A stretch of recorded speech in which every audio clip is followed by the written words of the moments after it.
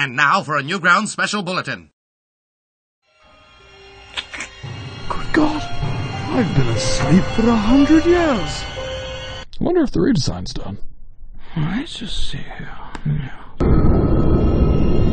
No, no.